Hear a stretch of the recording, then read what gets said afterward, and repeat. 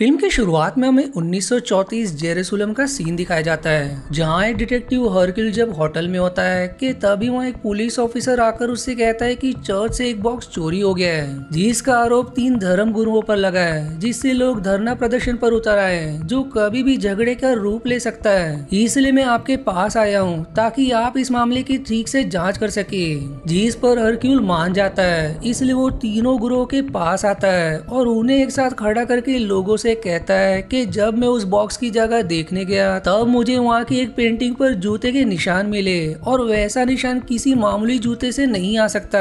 और अब जहाँ तक इन तीनों गुरुओं की बात है तो इनके पास उतने पैसे नहीं होंगे जो इतने महँगे जूते खरीद सके। और तब मेरी नज़र पुलिस वाले के एक जूते पर पड़ती है, जिससे मेरा शक यकीन में बदल जाता है कि हो ना हो चोर पुलिस ऑफिसर में से कोई है। और फिर तभी वहाँ एक पुलिस ऑफिसर उस पुलिस वाले के बैग लेकर आता है। जिसने हॉक्यूल को इस मामले की जाँच करने को कहा था। और जब उसका बैग चेक किया जाता है तो वो बॉक्स उसी के बैग से मिलता है, जो देखकर वो पुलिस वाला वहाँ से भागने लगता है। लेकिन सभी उसे पकड़ लेते हैं। अब इसके बाद हरक्यूल इस्तांबुल जाने के लिए एक बंदरगाह आता है, जहाँ उसकी मुलाकात मैरी नाम की एक फीमेल से होती है, जिसने हॉक्यूल के बारे में काफ़ी सुना है। पर तभी वहाँ पर आर्थर नाम का डॉक्टर आता है, जो मैरी से बात करने की कोशिश करता है, जिस पर वो कहती है कि जब हमारा काम हो जाएगा, तब हमें रोकने वाला कोई नहीं होगा। और उनकी ये बात हरक्यूल सुन लेता है, जिसके बाद वो इस्तांबुल के रेलवे स्टेशन आता है, जहाँ उसकी मुलाकात ओरियंट एक्सप्रेस नाम की लग्जरियस ट्रेन के डायरेक्टर बॉक्स से होती है, जो हरक्यूल का अच्छा दोस्त भी है। और तभी वहाँ एक आदमी आता है, जो हॉक्यूल को एक केस की जाँच करने को कहता है, जिस केस के बारे में उसे पहले से ही पता था। इसलिए वो बॉक्स से कहकर ओरियंट एक्सप्रेस की टिकट बुक करवा लेता है, जिसके बाद वो ट्रेन में सवार हो जाता है। जहाँ हब नाम की फीमेल उससे बात करने की कोशिश करती है, पर हरक्यूल अपने केबिन में आ जाता है। आप कुछ समय बाद ट्रेन में एडवर्ड नाम का आर्ट डीलर अपने सर्वेंट बेडॉन के साथ ट्रेन में सवार होता है और उसे कॉफ़ी लाने को कहकर खुद अपने केबिन में आ जाता है, जहाँ उसे एक लेटर मिलता है, जिसमें लिखा होता है कि संभाल कर रहना, जो पढ़कर वो थोड़ा घबरा जाता है।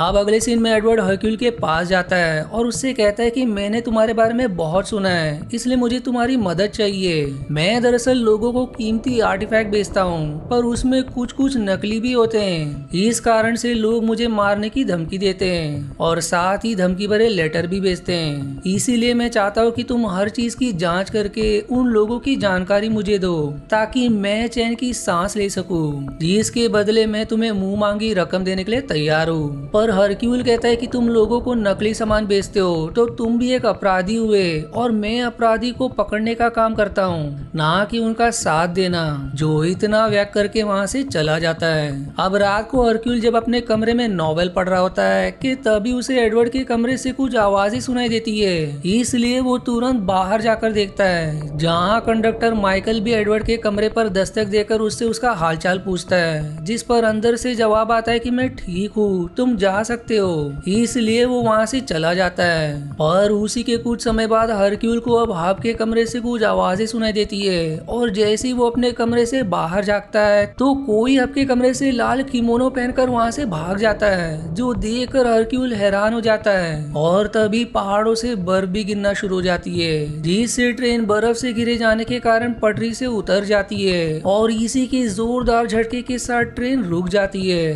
पर भाग्य से किसी को कोई चोट नहीं आती। आप अगले दिन ओरिएंट एक्सप्रेस के अपने स्टेशन पर ना पहुँच पाने पर वहाँ से एक टीम को तुरंत जाँच के लिए रवाना कर दिया जाता है। वहीं उधर ओरियंट एक्सप्रेस में बेडॉन एडवर्ड के लिए नाश्ता लेकर उसके दरवाजे पर दस्तक देता है।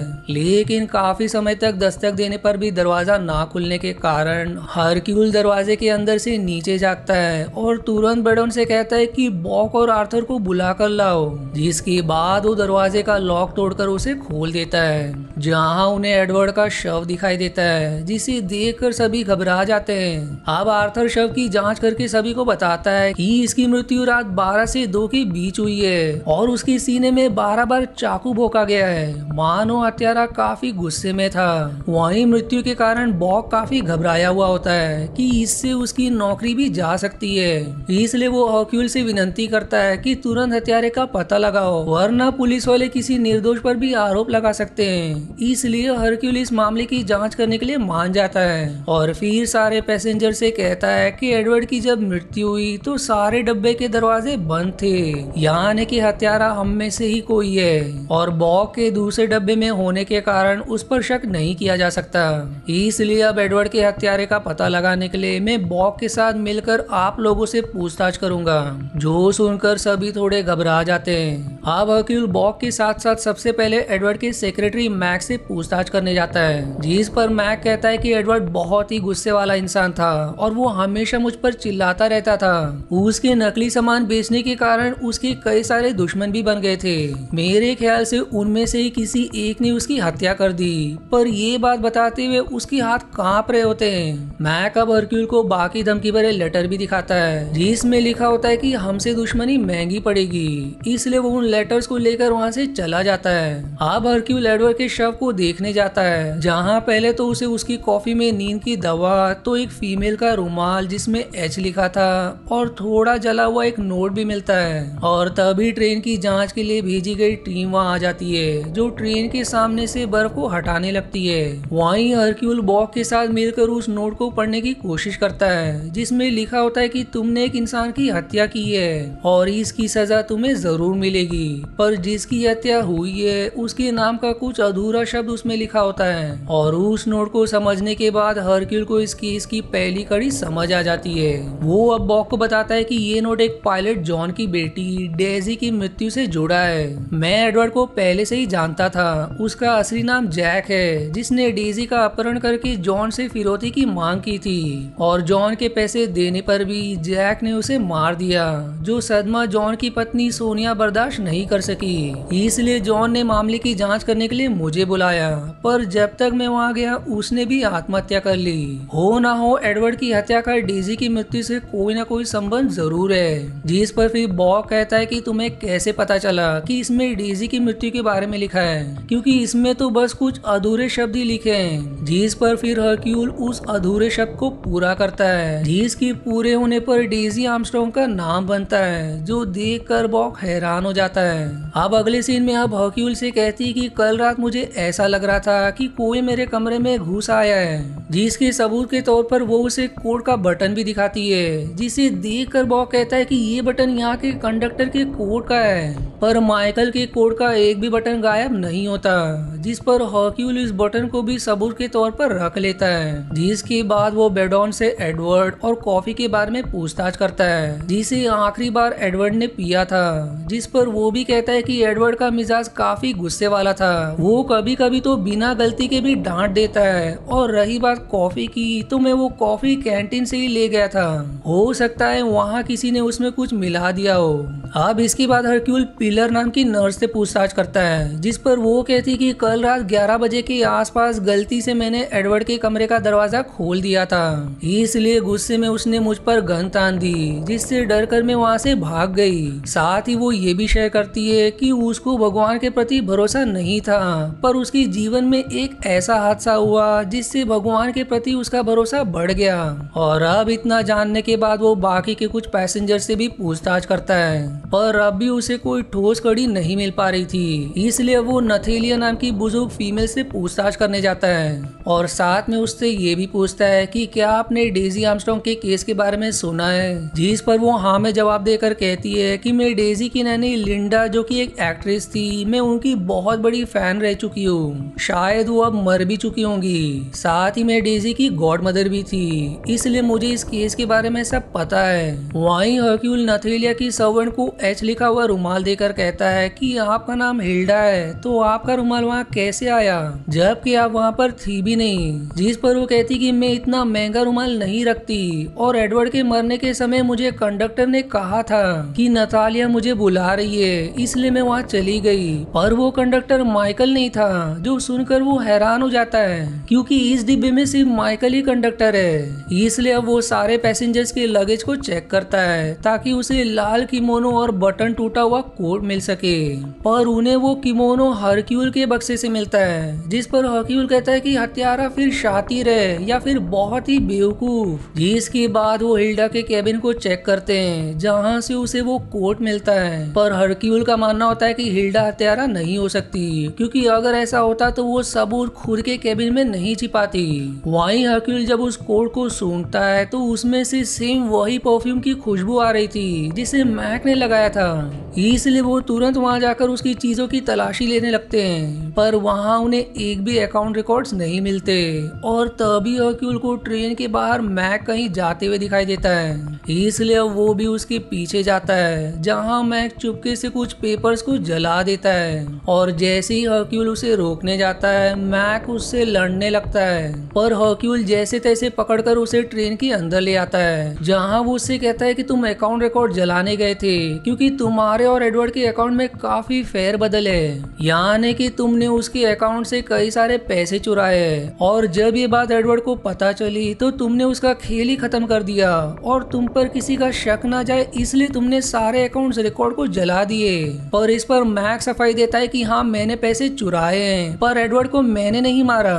और तब वहाँ पर आर्थर आकर कहता है कि ये सच कह रहा है। कल रात दो बजे तक ये मेरे साथ ही था। जिस पर फिर हॉक्यूल उससे कहता है कि मुझे तुमसे भी कई सवाल करने हैं, क्योंकि मुझे एडवर्ड के कमरे से एक पाइप क्लीनर मिला है, और इस डब्बे में सिर्फ़ तुम ही हो जो पाइप पीता है। लेकिन आर्थर कहता है कि क्लीनर मिलने से मैं हत्यारा साबित नहीं होता। जो सुनकर फिर हॉक्यूल उससे पूछता है कि क्या तुम जॉन को जानते हो, जिसकी बेटी की हत्या एडवर्ड ने की थी? जिस पर आर्थर कहता है कि मैं पहले एक शूटर हुआ करता था, जहाँ जॉन नाम का एक मेरा दोस्त था। लेकिन उसकी बेटी के साथ ऐसा कुछ नहीं हुआ। अब अगले सीन में हर्क्यूल मैक्स से कहता है कि मैंने तुम्हारे बारे में कुछ जानकारी निकाली है। तुम उस वकील के बेटे हो जिसे डेजी का केस मिला था, पर बाद में उन्होंने आत्महत्या कर ली। हो सकता है तुमने इसी कारण से एडवर्ड को मरवा दिया हो, पर इस पर मैक्स समझाता है कि एडवर्ड ने मेरे पिता को धमकाया था कि वो सारा आरोप घर में काम करने वाली लड़की सूजन पर लगा दे, वरना वो उन्हें मार देगा। इसलिए उन्होंने सारा आरोप उस पर लगा दिया, जिससे सूजन को फांसी हो गई। और इससे मेरे पिता का नाम खराब हो गया और इसी कारण से उन्होंने आत्महत्या कर ली। पर अब भी मैं यही कहूँगा कि मैंने एडवर्ड को नहीं मारा है और तभी उन्हें चिल्लाने की आवाज़ सुनाई देती है। इसलिए अब सब वहीं जाते हैं, जहाँ आपके पीठ पर किसी ने चाकू से वार कर दिया था। वो अब हकील को खबर करती कि हत्यारे ने मेरे मुँह पर कपड़ा डालकर मुझे मारने की कोशिश की, जो अब ये सब देख कर का शक मैक से हट जाता है, क्योंकि अभी तो वो उसी के साथ था। तो हत्यारा वो नहीं हो सकता। जिसके बाद अब हरक्यूल एंड्रू नाम के डांसर से मिलने जाता है। और उससे और उसकी पत्नी एलेना का पासपोर्ट माँगता है, जहाँ एलेना के नाम के साथ छेड़खानी की गई थी। और तब वहाँ एलेना भी आती है, जिसके दौरान हरक्यूल को वहाँ नींद की दवा भी मिलती है। और जब वो इसके बारे में एलेना से पूछता है तो वो कहती कि मुझे रात को इसके खाए बगैर नींद नहीं आती।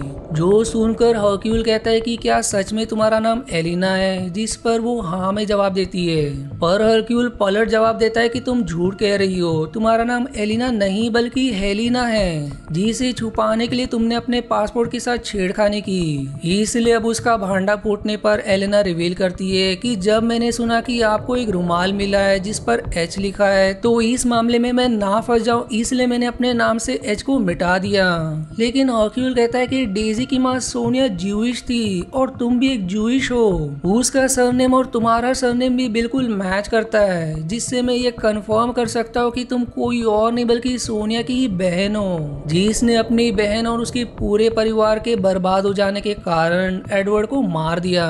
पर ये सुनकर एंड्रू हरक्यूल को वहाँ से भगा देता है। अब अगले सीन में हरक्यूल हर्डमैन नाम के एक प्रोफेसर से मिलता है और उससे कहता है कि तुमने कहा था कि तुम ऑस्ट्रेलियन हो, लेकिन तुम्हारे एक शब्द का गलत प्रोनाउंस करने से मैं ये दावा के साथ कह सकता हूँ कि तुम ऑस्ट्रेलिया से नहीं हो। और जब ये झूठ है तो फिर मेरे ख्याल से ये भी झूठ होगा कि तुम एक प्रोफेसर हो। तब हर्डमैन भी रिवील करता है कि मैं एक डिटेक्टिव हूँ। मैं एडवर्ड के लिए काम करता था। उसने ही मुझे पूरी ट्रेन में नज़र रखने के लिए कहा था, ताकि वो बिना चिंता के रह सके। और इस पर हकीउल कहता है कि मैं तुम्हारी गन और उसे पकड़ने के तरीके से ये कंफर्म कर सकता हूँ कि तुम पहले पुलिस वाले हुआ करते थे, जो सुनकर हॉर्डमैन दंग रह जाता है और अपनी गन रखकर वहाँ से चला जाता है। अब अगले दिन हकीउल मैरी से मिलकर उससे कहता है कि अब जब मैंने सारा ज़ोर डेजी के मामले पर लगा लिया, तब मुझे पता चला कि तुम डेजी के साथ हुए हादसे के समय उसके घर में उसकी दाई माँ बनकर रह रही थी। लेकिन तुमने एक बार भी मुझसे इसके बारे में नहीं बताया, जिस पर वो कहती कि मैं इस मामले में फंसना नहीं चाहती थी। इसलिए मैंने इसके बारे में आपको नहीं बताया, क्योंकि अगर मेरे ऊपर आरोप लगता तो मुझे कभी दूसरी नौकरी नहीं मिलती। और एडवर्ड एक दरिंदा था अच्छा हुआ जो मर गया। पर इस पर हॉक्यूल कहता है कि तुमने ही उसे मारा है, क्योंकि डेजी तुम्हारे बहुत करीब हो गई थी और उसके साथ ये हादसा तुम्हें बर्दाश्त नहीं हुआ, इसलिए तुमने एडवर्ड को मार दिया। और यही वो काम है जिसके बारे में तुम आर्थर से कह रही थी कि काम पूरा होने के बाद हमें कोई नहीं रोक सकता, और तभी वहाँ पर आर्थर आ जाता है, जो हॉक्यूल के कंधे पर शूट करके कहता है कि एडवर्ड को मैरी ने नहीं, बल्कि मैंने मारा। जिस जॉन के बारे में मैंने तुम्हें बताया था, वो डेजी का ही पिता था, और वो मेरा बहुत ही अच्छा दोस्त था और एडवर्ड ने जो उसके साथ किया, वो मुझे बर्दाश्त नहीं हुआ। इसलिए मैंने उसे मार दिया, जो इतना कहकर वो हॉक्यूल से लड़ने लगता है। पर फिर बॉक उसे आकर बेहोश कर देता है। अब सारे पैसेंजर्स को टनल के पास बिठाया जाता है, जिसके बाद हरक्यूल वहाँ आकर आर्थर से कहता है कि एक शूटर का निशाना इतनी नज़दीक से कभी नहीं चूक सकता। तुम जानबूझकर मुझे बस घायल करना चाहते थे। इसलिए जब तुम्हारे अंदर मुझे मारने की हिम्मत नहीं हुई तो तुम एडवर्ड के हत्यारे नहीं हो सकते। जो इतना कहने के बाद सभी को कहता है कि एडवर्ड की हत्या दो हाल में ही हो सकती है, कि एक तो कोई चोर जो ट्रेन में घुसकर स्टाफ का कोट पहन लिया और एडवर्ड के कमरे में जाकर उसकी हत्या करके हाफ़ के कमरे से होते हुए चला गया। पर इस पर बॉक कहता है कि अगर ऐसा है तो फिर हाफ़ को चाकू किसने मारा और वो यूनिफॉर्म को ट्रेन में क्यों छुपाएगा? वो तो अपने साथ भी लेकर जा सकता था। इसके अलावा एडवर्ड की कॉफ़ी तो कैंटीन से गई थी तो उसमें नींद की दवा कैसे मिल गई? तब अक्यूल कहता है कि एडवर्ड एक हत्यारा था और ये हत्या भी एक हत्यारे की है। तो उसकी हत्या से किसे फ़ायदा हो सकता है? किसी ऐसे इंसान को जो जज्बाती हो और जज्बात में आकर उसकी हत्या कर दी हो। वो सभी को समझाते हुए कहता है कि हमारे साथ जॉन का बहुत अच्छा दोस्त आर्थर मौजूद है, जो डेजी की दाई माँ मैरी को पसंद करता है और उसका पाइप क्लीनर मुझे एडवर्ड के कमरे से मिला। उसके बाद हमारे साथ है सोनिया की बहन हेलिना और डेजी की गॉड मदर नथीलिया, जिसका रुमाल मुझे एडवर्ड के कमरे से मिला।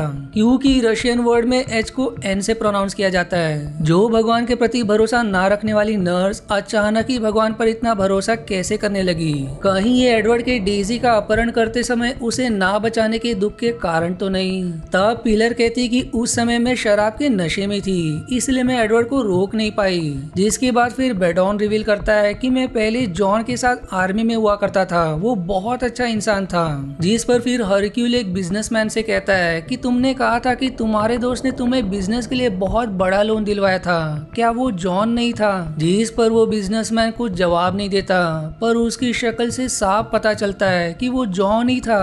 जिस पर फिर से हरक्यूल कहता है कि मामला अब भी खत्म नहीं होता। हार्डमैन पहले पुलिस वाला हुआ करता था, जिसे डीसी का केस सौंपा गया था, और हार्डमैन का इस केस को ज़्यादा ही पर्सनली लेने की एक ही वजह हो सकती है कि वो इस मामले से जुड़े किसी को पसंद करता हो। तब हार्डमैन कहता है कि मैं और सुजैन रिलेशनशिप में थे और उस पर गलत आरोप लगाकर उसे फांसी दे दी गई। इसीलिए मैंने पुलिस की नौकरी छोड़ दी। जिस पर फिर हॉक्यूल माइकल से कहता है कि तुम्हारा पूरा नाम माइकल मिचेल है और सुजैन का नाम सुजैन मिचेल था। तो क्या मैं ये कंफर्म करूँ कि सुजैन तुम्हारी बहन थी, जिस पर माइकल भी अपना मुँह गिरा लेता है? अब हॉक्यूल शेयर करता है कि इनमें से सबसे ज़्यादा जिसने अपना सब कुछ खोया है, वो डेजी की नैनी लिंडा है, जिसने अपना एक्टिंग का करियर छोड़ दिया। तो क्या मिसिस साहब पहले आप एक्ट्रेस हुआ करती थी? तब अब अपना विग निकाल देती है और अपनी सच्चाई बताकर कहती कि वो ही लिंडा है। जिस पर अब हॉक्यूल इस केस को आखिरी अंजाम तक पहुंचाकर सभी से कहता है कि ये हत्या किसी एक द्वारा नहीं की गई है और जब यहाँ पर मौजूद सारे लोगों का डेजी की मृत्यु से कुछ न कुछ संबंध है तो हत्यारा एक नहीं बल्कि आप सभी हो, जिन्होंने मिलकर इस हत्या को अंजाम दिया। आप सभी की सच्चाई सामने आने पर लिंडा बताती है कि ये सारा प्लान मेरा बनाया हुआ था, क्योंकि वो इंसान ज़िंदा रहने के लायक नहीं था। इसलिए हम सभी ने बारी बारी एडवर्ड को स्टैप करके मार डाला। पर हम तुम्हारे जितना शातिर नहीं निकले कि इस हत्या का आरोप उसके दुश्मनों पर लगा सके। एडवर्ड को मार कर मेरे जीवित रहने का कारण पूरा हो गया। इस अपराध के लिए सजा सिर्फ़ मुझे मिलनी चाहिए। ये सारे लोग हत्यारे नहीं है। पर हरक्यूल इस पर कोई जवाब नहीं देता। वहीं ट्रेन के आगे से अब सारी बर्फ़ हटा दी जाती है, जिससे ट्रेन अब अगले स्टेशन के लिए अपना सफ़र तय करती है, जहाँ हरक्यूल सभी से कहता है कि मैंने हमेशा अपने दिमाग की सुनी है, पर इस बार अपने दिल की सुनूँगा। एडवर्ड को दरअसल उसी के किए हुए अपराध की सजा मिली है, इसलिए मैं आप सभी को एक और मौका देता हूँ। पुलिस तक सिर्फ़ यही बात जाएगी कि हत्यारा ट्रेन में घुसकर एडवर्ड की हत्या करके चला गया, जो सुनकर सब हैरान हो जाते हैं। जिसकी बाद हरक्यूल ट्रेन से उतर जाता है। पर तभी उसके सामने एक आदमी आता है, जो उसे डेथ ऑफ़ नाइल केस के बारे में बताता है। जिस पर हरक्यूल इस केस को हल करने के लिए मान जाता है। जिसके बाद ट्रेन इस्तांबुल से लंदन के लिए निकल जाती है, जहाँ सभी हरक्यूल को खुशी भरी निगाहों से देख रहे थे। और इसी मिक्स फीलिंग के साथ ये मूवी यही समाप्त हो जाती है। अब इस मूवी के एंड में डेथ ऑन नाइल के केस के बारे में बताया गया है, जो कि दरअसल एक और आगे की मूवी है। और अगर आपको उसकी एक्सप्लेनेशन देखनी है तो इसका लिंक मैंने आई बटन और डिस्क्रिप्शन में मेंशन किया है। और आज के वीडियो में इतना ही। आशा है आपको मेरी एक्सप्लेनेशन पसंद आई। यदि हाँ तो प्लीज़ वीडियो को लाइक करना और चैनल को सब्सक्राइब करके सपोर्ट करना ना भूलें। मिलते हैं अगले एक्सप्लेनेशन वीडियो में। तब तक लिए धन्यवाद दोस्तों।